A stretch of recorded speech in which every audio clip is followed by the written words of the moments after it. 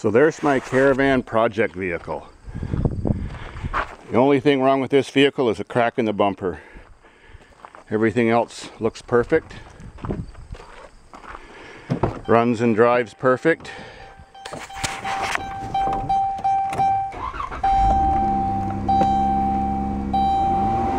The only thing I had to do to make it roadworthy was install brakes on all four wheels. That was it. Works like a champ.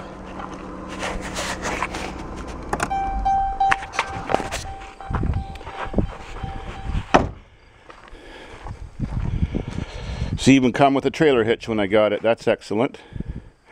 Now today's video is about possibly an engineering issue when I install this engine in that van. This is the electric power steering rack and pinion.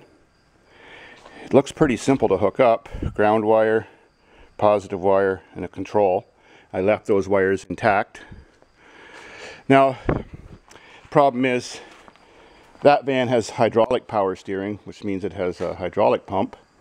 And this really doesn't have any place to put a hydraulic pump. I guess anything's possible if I added another pulley. But I'm going to see if I can modify my van enough to take the electric power steering. It worked really nice. Well, this video is about uh, the speedometer and the static rev limiter this car wouldn't rev above 2500 RPM while it was parked with no speedometer input. So since I said I left the ABS system intact, I've now plugged in the module from the car. No hydraulic fluid, of course.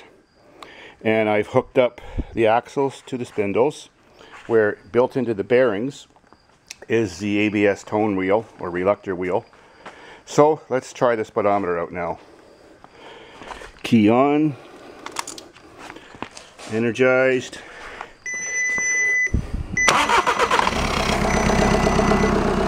She's a runner and she's almost a driver. I can see the speedometer is working already. In gear. So we'll rev it a bit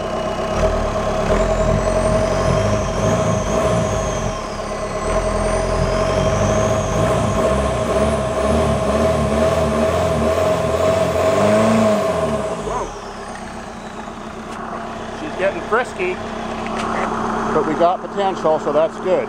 Excellent.